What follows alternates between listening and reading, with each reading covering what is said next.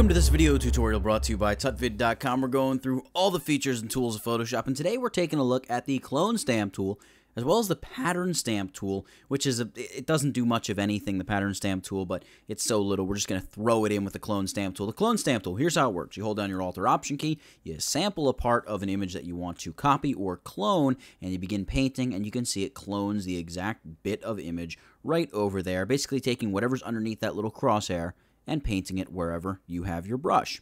All right, I'm going to undo that.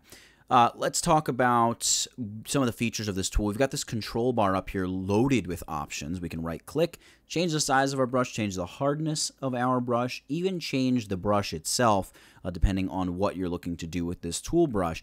Uh, we have different blend modes that we can paint using. Uh, you can check them out and see what it does uh, for yourself. They're pretty simple. And they honestly, you're probably not going to use them that that often. It's much better to do something like create a new layer, clone up on this new layer, and then change the blend mode of the new layer. That way it's non-destructive. You can always change it back later if you decide to do that. Now, speaking of painting or cloning on a on a new layer, um, we have this sample option up here of current layer, current and below, or all layers.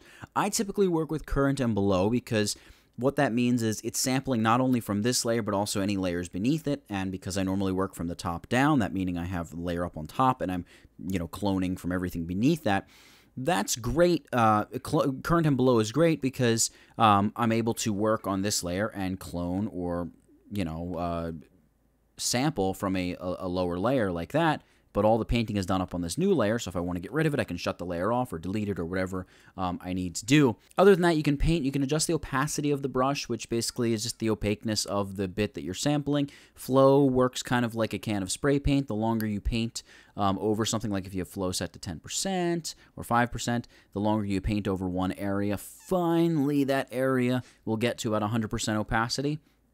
Um, I'm not going to mess around with flow too much here.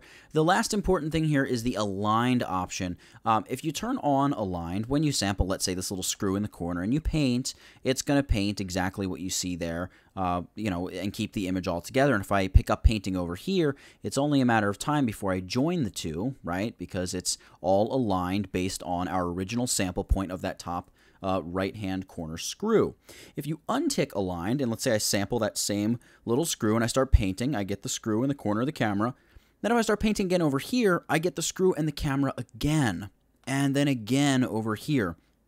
So it basically just is always going to sample from that same exact point no matter where you are painting in your overall image. Now another cool thing you can do, I'm going to tick aligned back on. You can go to a different document and you can sample colors and things from that document. I'll just held down my Alt key and selected and then you can go into your document and you can paint them in there just like that. So that's pretty cool. You can sample from other uh, images. Now, we also have the clone source panel, which is this little button here, or you can go window clone source, where you can save clone uh, source points as all of these different icons. Select this, uh, hold down your Alt or Option key, sample from there, then I'll select my next one. Maybe I'll sample from this little viewfinder. So here I can paint the viewfinder there. I can go back to this option here, and I can paint it over here go back to like the viewfinder and you know I'm painting painting painting so that's kind of neat but not really something I use all that that much. The main thing about the clone source panel is this little rotation option here.